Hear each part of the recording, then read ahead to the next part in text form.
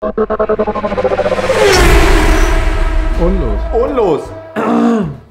So, Ladies and Gentlemen, einen herzlichen Willkommen. Ne? Das war nicht deutsch. Das war nicht Deutsch. Fangen wir nochmal neu. Auf jeden Fall. Ja. Komm jetzt rein, ne? So, einen wunderschönen guten Tag, Ladies and Gentlemen. Herzlich willkommen in der Holly Hall. Ähm, heute wird sich das Video mal wieder um Fabians oder endlich mal um Fabians Cayman drehen. Äh, wie ihr sehen könnt, haben wir jetzt unsere Stoßstangen schon mal dran montiert. Vorne als auch hinten. Und haben hier auch schon mal so ein bisschen gespoilert.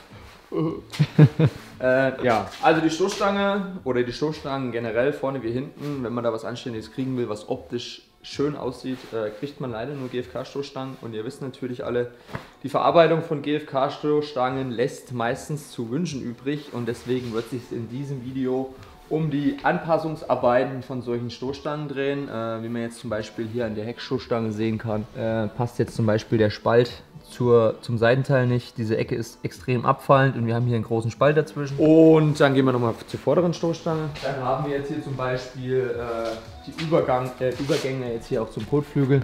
Das ragt hier extremst hervor. Oder wir haben hier einen kleinen Luftspalt zwischen der Stoßstange und dem Kotflügel. Das muss jetzt zum Beispiel aufgefüllt werden. Aber das Hauptproblem an der vorderen Stoßstange ist, dass wir einen extremen Spalt Richtung Motorhaube haben, wie man jetzt hier sehen kann. Da kriege ich jetzt hier schon fast einen Finger rein. Wir haben das jetzt schon probiert, äh, mittels Gewalt äh, hier nach hinten zu drücken und dann anzuschrauben. Funktioniert dann auch, passt der Spalt auch noch einigermaßen. Allerdings ist die Stoßstange dann so sehr auf Spannung, dass sich hier dieser Lufteinlass schon leicht anfängt zu wellen und das wollen wir natürlich nicht. Und deswegen werden wir hier auch nochmal Material aufbauen. Und wie wir das machen, zeigen wir euch jetzt. Aber vorher äh, bauen wir jetzt die Stoßstange nochmal ab, denn wir werden bis an diese Karosserieteile hier nochmal schön aufspachteln. Das heißt, wir werden jetzt erstmal die komplette Karosserie mit Klebeband versiegeln oder abkleben, dass uns da keine Spachtelmasse dran kommt. Dann werden wir natürlich die entsprechenden Stellen, die wir jetzt bearbeiten wollen, vorher nochmal anrauen und das Ganze dann neu spachteln, laminieren, wie auch immer. Äh, wenn wir die Stoßstange jetzt abhaben, werden wir aber noch diese ganzen Halter erst nochmal einpassen. Wenn man jetzt hier in der Ecke sehen kann, als auch hier hinten äh, sind noch diverse Halter in die Originalstoßstange eingenietet, die wir jetzt an unserer GFK-Stoßstange noch nicht dran haben. Deswegen werden wir das auch alles nochmal umbohren, bauen, schrauben, nieden müssen. Der Fabian baut jetzt mit die Stoßstange ab. Ich gehe jetzt erstmal was essen und gleich geht's weiter. Ne? So, Ladies and Gentlemen, wir haben die Stoßstange abgebaut. Hat es eigentlich geschmeckt? Schmeckt hat sehr gut. Ja, Ja. was gab's denn eigentlich? Bockwürstchen, Brötchen und so ein bisschen Gemüse aus dem Backofen. Nicht so mein Fall, aber Hunger hat's reingetrieben. ja, der Fabian hat jetzt schon mal hier äh, weitestgehend die Karosserie abgeklebt. Mit Tesafilm, ne? Oder mit etwas breiterem Tesafilm. Packband. Packband, ist das noch hier? Ja, hier ist es. Ne? Äh, das hat der Fabian aus folgendem Grund gewählt, weil wir könnten jetzt natürlich auch hier herkömmliches Kreppband oder so nehmen. Allerdings löst sich von diesem äh, Tesafilm am besten die Spachtelmasse wieder ab, weil wir wollen ja keine Verbindung jetzt zum Beispiel mit der Haube oder mit dem Kotflügel eingehen. Deswegen hat der äh, Fabian jetzt hier Tesafilm aufgesetzt und hat das dann nochmal äh, verkleidet mit äh, Kreppband. Genau. so heißt Ja, äh, warum hast du das nochmal mit Kreppband bearbeitet? Falls uns der Spachtel mal so umherfliegt oder so, weißt du? Wollen wir ja nicht. als Schutz, dass das jetzt hier nicht so, weil wir jetzt, wenn wir jetzt hier umher schmieren, dass da nichts auf die Haube geht. So. Ah, weil du das so akkurat gemacht hast hier, wäre ja eigentlich gar nicht nötig gewesen. Ne? Ja, Hast aber- wieder Mühe gegeben, oder? Ja. Weil das Tesafilm, das klebt ja mindestens auch bis hier. Wenn du das jetzt hier einfach kreuz und quer abgeklebt hättest, wäre es auch gut gewesen, oder? Oder ich setz da an und zieh's einfach bis darüber. Ja.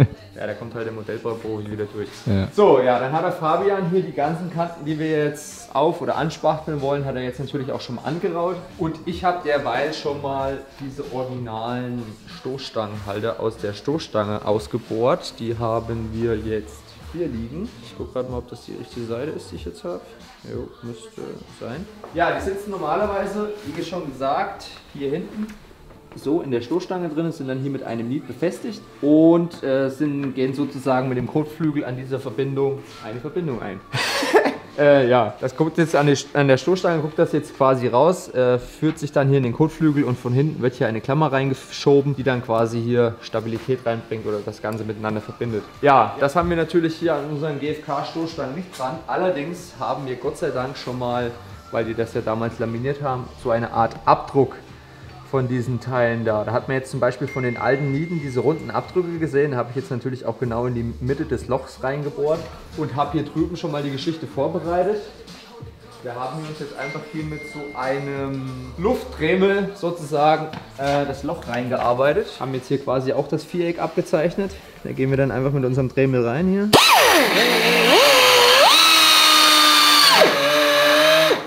Und fahren uns dann nach und nach die, die Kanten schön entlang, bis wir dann dieses wunderschöne Viereck, was ich jetzt hier schon vorbereitet habe, haben. Habe haben. Habe haben. Und dann haben wir aber durch diese, ja, sag ich mal, diese GFK-Auftrag haben wir natürlich hier ein stärkeres Material als diese äh, Kunststoff- oder ABS-Stoßstange. Deswegen musste ich dann auch noch zusätzlich hier hinten ein bisschen Material mit unserem Fräser rausnehmen, um ungefähr auf dieselbe Stärke zu kommen, weil wir natürlich mit diesem Teil hier weit genug nach außen kommen müssen, damit diese Nut hier frei wird, damit wir natürlich auch unsere Klammer seitlich dann hier aufschieben können. Ja, habe dann hier noch so eine kleine Einkerbung reingefräst, wo hier diese originale Nase reingesetzt wird. Hier, das Loch stimmt jetzt auch überein, das werden wir uns jetzt hier annieden. Und dann können wir die Stoßstange wieder anbauen und mit dem Arbeiten beginnen. So machen wir das. So, die Stoßstange haben wir jetzt wieder dran gebaut und haben jetzt auch schon mal ein bisschen die Konturen hier nachgeschliffen. Hier an der Stelle zum Beispiel hat die Stoßstange ein bisschen über den Kotflügel drüber geragt. Hier wiederum äh, ist sie ein bisschen zu weit drin. Am krassesten sieht man das jetzt zum Beispiel hier vorne an der Ecke. Also die Stoßstange hier und überall ist perfekt ausgerichtet. Als auch hier liegt sie überall schön an. Und hier haben wir einen riesen Luftspalt. Das kriegen wir natürlich auf keinste Art und Weise vermittelt, deswegen müssen wir das Ganze jetzt auffüllen. Ja, wie gesagt, der Fabian hat das hier abgeklebt. Äh, wir haben auch hier drüben die Seite schon mal so ein bisschen beigeschliffen, dass hier die, äh, der Übergang einigermaßen stimmt. Und den Rest werden wir uns jetzt ganz normal mit einer Glasfaserspachtel auffüllen. Und da kommen wir auch schon zu unserem Hauptproblem, das Spaltmaß zur Haube. Ja, wir haben jetzt die Haube hier einmal komplett geschlossen und haben uns dann jetzt hier quasi das Spaltmaß, das Original-Spaltmaß genommen. Das sind ungefähr so 3, 4 mm. 3, Drei 4 Millimeter. 3, 4 Millimeter. 3, 4 Millimeter. Äh, und deswegen hat der Fabian jetzt hier uns ein paar Wachsplatten besorgt. Ne? Hm. Nehmen die im Modellbau immer, ne? Hm. Fabian? Ja, das Ganze äh, sieht so aus. Äh, haben wir uns jetzt dementsprechend in Streifen geschnitten. Äh, eine Platte war jetzt 1,5 mm stark. Somit haben wir einfach zwei übereinander geklebt, um auf die 3 mm zu kommen. Ja, und das Ganze hat hier auch eine selbstklebende Seite. Und das Ganze haben wir jetzt quasi in den Spalt eingefügt und mit der klebenden Seite an die Kontur der Haube geklebt. Somit haben wir jetzt hier noch einen Spalt frei und dieser Spalt wird jetzt auch wiederum aufgefüllt mit Glasfaserspachtel. So haben wir natürlich eine perfekte Rundung zur Haube, haben hier unseren perfekten Spalt von 3 mm frei und können uns das jetzt einfach aufspachteln. Mega easy. Ja, hier das restliche Stück müssen wir jetzt natürlich nach hier drüben noch auffüllen mit unserer Wachsmatte und dann geht es ans Spachteln. Solche Stellen jetzt hier zum Beispiel, wie man jetzt hier sehen kann, passt jetzt natürlich hier absolut der Übergang nicht zum Kotflügel, gell? aber wir werden das jetzt vorerst mal hier diese komplette Fuge aufspachteln und dann im Nachgang, wenn wir die Spachtelmasse hier sowieso schleifen zum Übergang zum Kotflügel und so, werden wir uns das hier noch schön flächig beifräsen. Ja, Wachsmatte noch rein und dann I ain't the nigga who pulling up trying to get shine by how much the rollie glow. I'm here to rain on parades, my sinister ways to fuck up the rodeo. I do my shows and hoes be losing control like I was the Holy Ghost. When I deliver the penis, it lies in the mouth. She call it Pinocchio. Mm, man, who want war with me? Bitch, I torture beats. I've been born to be still I abhor them seas. Oh, so horribly. So, zu unserer Spachtelmasse. Äh, ist eigentlich ganz normale Spas Spachtelmasse, allerdings Spaßmaße ist das. Spaßmasse. Allerdings, wie der Name schon sagt, äh, Faserspachtel mit enthaltenen Glasfasern. Das sieht man jetzt auch, wenn ich das jetzt mal so lang ziehe, sieht man jetzt hier so die einzelnen Fasern in der Spachtelmasse. Gibt natürlich dadurch, äh, dass die Masse an sich Fasern in sich hat, die äh, das ganze Gewebe etwas in sich zusammenhalten, wenn das steif wird, natürlich nochmal eine extreme Stabilität und eine Bruchsicherheit. Äh, Im Prinzip ist unsere ganze Stoßstange eigentlich aus Glasfaserspachtel, Fabian, ne? Hm. Ja, und machen wir natürlich auch oder aktivieren das Ganze auch wie herkömmliche Spachtelmaße. Wir nehmen da ungefähr die Menge, die wir benötigen für die ganze Aktion. In den meisten Fällen 75% mehr, wie wir eigentlich brauchen. und machen das dann mit Pi mal Daumen 3% härter auf die gesamte Masse an oder aktivieren das. Das Meistens auch ein bisschen mehr. Als ist 2%. meistens auch ein bisschen mehr. Ja, reicht uns das hier, um da hier was rein zu ne? Hm. Erstmal schon. Stück für Stück. Das hat man so ein Gefühl, als Modellbauer, Kfz-Lackierer, oder Fabian? Wie viel mehr hat er da braucht? Aber keine 3%. Was denn? Das sind schon 5. 5 Prozent. Jetzt siehst du mal, da wird es richtig hart. In der Kuchenbäckerei gibt's so manche Leckerei. So, das Ganze natürlich auch immer. Richtig schön vermengen. Ja, was, was, was für ein anderes Wort, also richtig schön hätte ich jetzt nehmen sollen. Richtig schön vermengen und miteinander vermischen. Ansonsten habt ihr natürlich dann gewisse Stellen, die vielleicht nicht richtig durchhärten könnten und es gibt dann im Nachhinein richtig große Probleme. Seht ihr jetzt auch schon beim Verrühren, wie hier die ganze Masse so in sich mitgeht durch die Fasern. Das hast du normalerweise bei herkömmlicher normaler Spachtelmasse nicht. Wir Deutschen mögen das eigentlich nicht so sehr, ne? Das ist eher so die Spezialität von unserem polnischen Kollegen, so Glasfaserspachtel, ne? wenn ihr wisst, was ich meine. Allerdings äh, finde ich das jetzt nicht schlimm, sowas äh, zu nutzen oder zu nehmen, auch wenn man jetzt irgendwelche Unfallschäden macht, zum Beispiel eine Seitenwand, die man nicht hundertprozentig ausgebeult kriegt, kriegt man dann meistens auch sowas auf, um dann erstmal die entsprechende Delle zu füllen und dann dementsprechend dann mit feinerer Spachtel da ein bisschen Fläche reinzukriegen. Also das Material ist eigentlich schon sehr, sehr gut. Ihr müsst das dann immer nur genug und richtig schön heizen. Ansonsten kann es natürlich passieren, dass dann Wochen nach der Lackierung das Ganze ein bisschen in sich zusammensackt. Ansonsten ein sehr schönes Material. So, das müsste jetzt auch langsam mal reichen hier. Ist nicht gleich hart. Unser Spachtelmaße. Nee, ist nicht gleich hart, weil wir haben nämlich nicht gerade die wärmsten Temperaturen und da kommt es natürlich auch drauf an. Desto kälter hier die ganze Geschichte ist oder die Raumtemperatur, desto länger braucht es natürlich auch, um hart zu werden. Äh, wenn wir jetzt hier 40 Grad im Schatten hätten im Sommer oder so, dann müssen wir sich da schon recht zügig ranhalten. Ja, dann nehmen wir hier einfach unsere Plastikspachtel und ich habe mir zusätzlich auch noch Gummihandschuhe angezogen, falls wir mit der Hand irgendwas nachjustieren müssen. Und quacken uns das jetzt mal hier in unseren Spalt rein.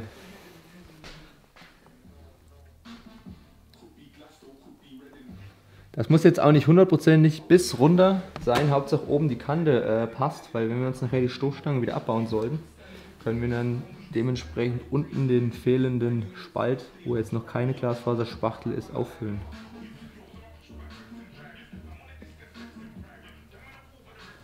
Ja, ich würde sagen, der Fabian bewaffnet sich jetzt erstmal mit Handschuhen und unterstützt mich hier noch ein bisschen, oder? Mhm. Wir sehen uns dann gleich, wenn ich hier fertig bin mit meiner Schmiererei. So, wir haben die Hunger. Spachtelmasse und haben Hunger, genau. Äh, haben die Spachtelmasse jetzt aufgezogen und die ist jetzt mittlerweile schon hart geworden. Und der Fabian hat jetzt mal eben hier diese Wachsplatte entfernt, die eine. Und wie man sehen kann, haben wir jetzt ein wunderschönes, gleichmäßiges Spaltmaß. Perfekt, ne? Mhm.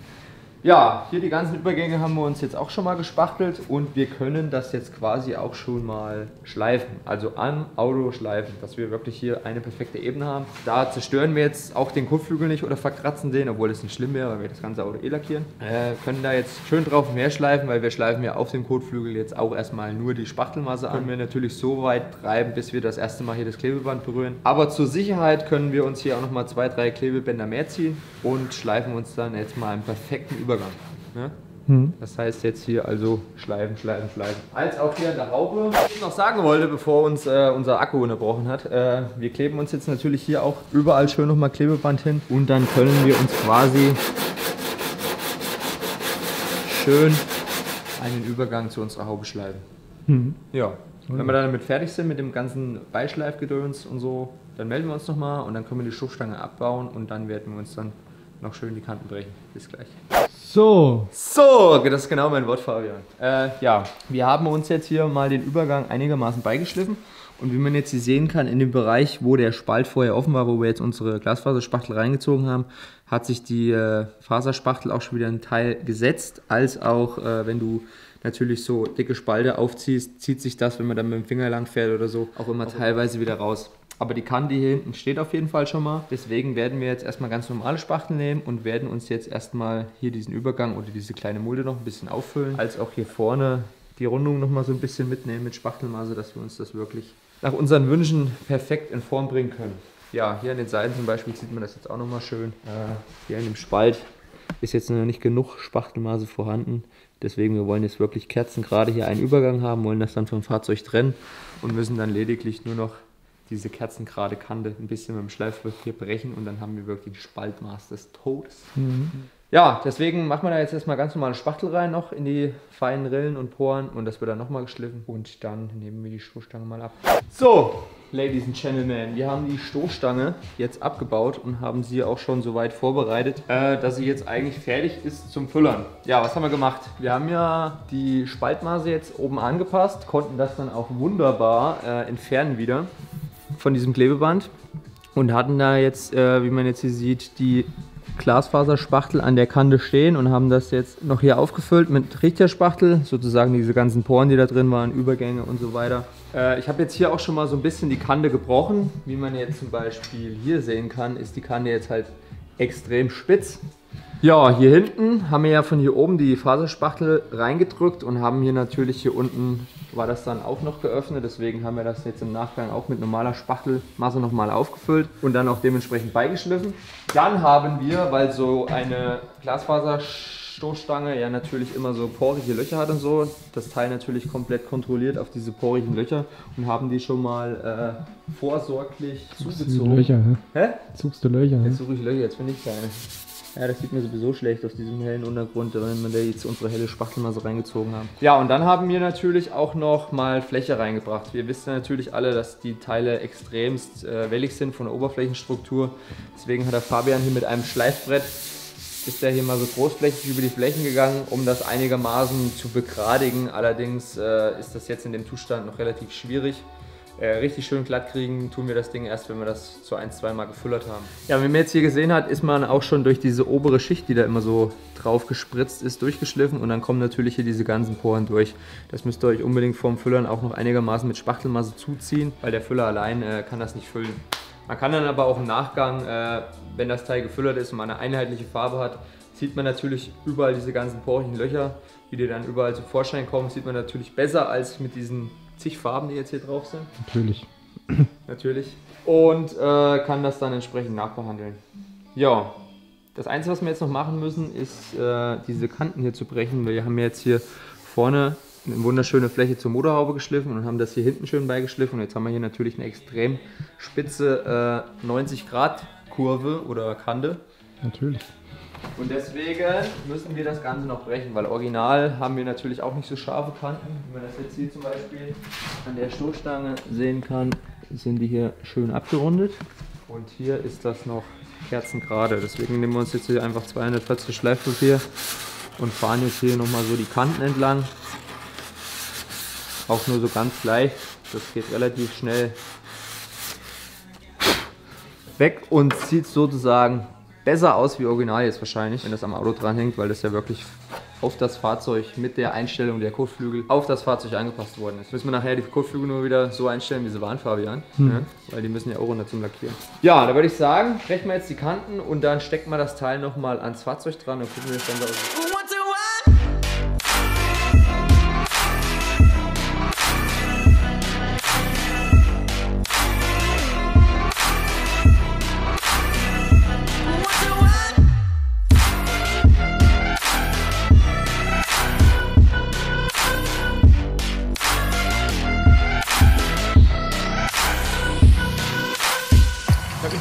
Umgezogen, ne? Hm, Fabian, ey, neuer Tag, neues Glück. So, wir haben jetzt dem, äh, was? Ja, ja, viel Glück. viel Glück, oder? Wir haben jetzt dem Fabian seine Stoßstange wieder dran gebaut und wie man sehen kann, äh, ist das Spaltmaß hier wunderschön geworden. Hier vorne an der Haube, als auch am Kotflügel, als auch hier seitlich am Kotflügel haben wir das jetzt perfekt angepasst. Ja, was wir jetzt noch gemacht haben, ist äh, dem Fabian seine Spoilerlippe hier unten demontiert, weil die auch aus GFK ist und ich gehe mal davon aus, wenn wir damit irgendwo wirklich mal davor fahren sollten, äh, zersplittert das Teil wahrscheinlich in tausend Teile. Deswegen haben wir jetzt erstmal die originale Lippe bestellt, äh, weil die natürlich aus ABS ist und einiges mehr aushält als eine Lippe aus GFK. Zudem ist diese auch scheiße angepasst hier an der Seite. Und wenn das jetzt mal hier so dran hält, würde das dann quasi im Endeffekt so aussehen. Und das ist ja nicht so schön, weil die Rattenschale geht wirklich hier dahinter lang, würde dann hier so ein bisschen stehen. Und die ganze Geschichte wäre jetzt hier sozusagen frei. Theoretisch die originale Lippe verläuft dann hier so ein bisschen schräg und geht dann hier unten wieder rein, dass, so dass das hier unten alles abgedeckt ist. Wäre jetzt mega aufwendig, wenn wir uns dieses Stück hier auflaminieren würden und äh, so in Form bringen würden, dass das Ganze abgedeckt ist und deswegen haben wir außerdem noch die originale Lippe bestellt, weil das bei der originalen Lippe schon so ist. Ja. Deswegen müssen wir jetzt warten, bis, bis die originale Lippe mit der Post kommt, um dann eventuell die Stoßstange an sich noch ein bisschen der Originallippe anzupassen. Ja, im Prinzip war es das eigentlich schon von unserer Stoßstangenanpassungsarbeit. Äh, ich kann das ja nochmal schnell mit euch durchgehen, worauf ihr achten müsst, wenn ihr sowas kauft. Also, ihr wisst ja alle, dass das ziemlich äh, unschöne Teile sind manchmal GFK-Stoßstangen. Äh, worauf wir immer achten ist, dass möglichst alle Teile einzeln sind, weil die Stoßstange zum Beispiel kriegst du auch noch im komplett zusammengebauten Paket. Da ist sozusagen die untere Lippe schon hier mit dran laminiert. Äh, das ist natürlich nicht so schön, wenn ihr jetzt irgendwo davor fahren solltet und diese Lippe da unten zerbrochen ist, müsst ihr jedes Mal die Stoßstange erneuern oder die Stoßstange reparieren. In dem Fall ist es so, wenn wir die untere Lippe kaputt gefahren hätten, hätten wir die untere Lippe äh, repariert oder ausgetauscht und damit wäre der Fall erledigt. Zudem äh, ist es halt immer dem äh, Original am nächsten, wenn halt wirklich alle Teile einzeln sind, die Original auch einzeln sind. Was jetzt hier nicht einzeln ist, ist wirklich dieser Grilleinsatz, der ist in die Stoßstange mit eingelassen.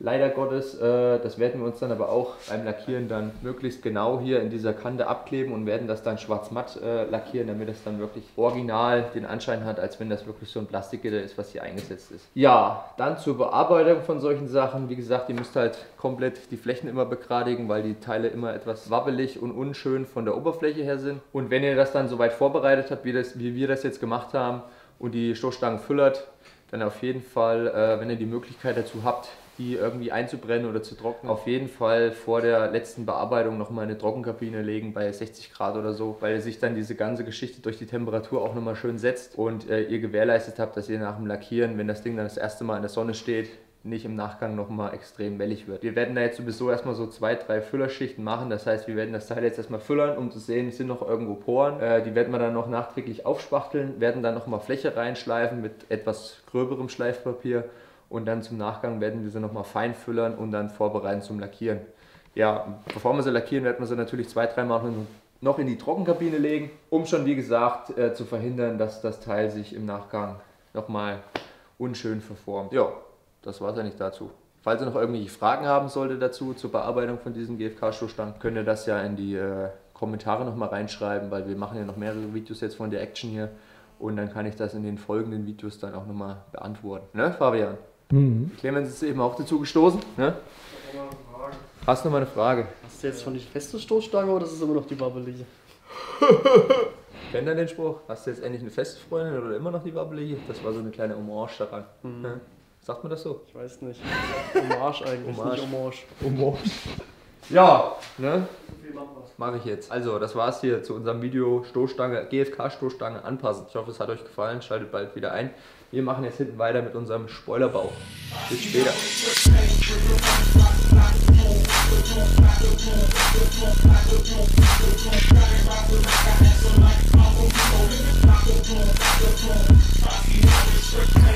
I